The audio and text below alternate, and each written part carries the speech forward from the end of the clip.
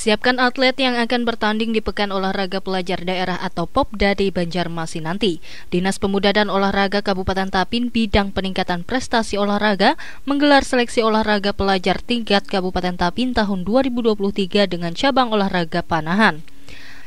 Menurut Haja Aminah, kelahiran atlet Popda pada tahun 2023 kali ini salah satu syaratnya adalah pelajar yang lahir pada tahun 2005.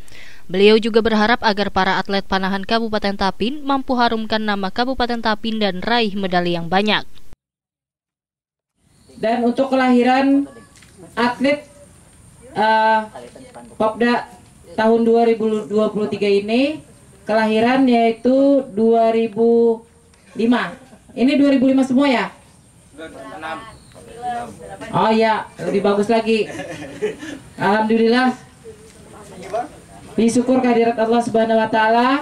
Hari ini kita dalam keadaan sehat walafiat dan semoga kalian yang akan mengikuti seleksi pada hari ini penuh dengan semangat. Amin. Disertai dengan doa. Amin. Semoga kalian bisa terpilih untuk mewakili atlet panahan untuk Kabupaten Tapin pada Popda 2023 nanti. Amin.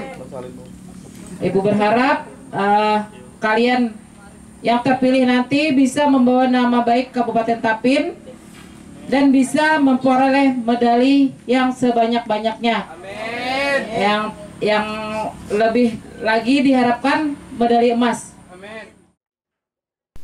Setelah ditemukannya para atlet yang terpilih pada seleksi nanti, maka pihak Dinas Pemuda dan Olahraga Kabupaten Tapin juga akan berikan pembinaan selama tiga bulan dengan pertemuan sebanyak 48 kali kepada para atlet yang terpilih.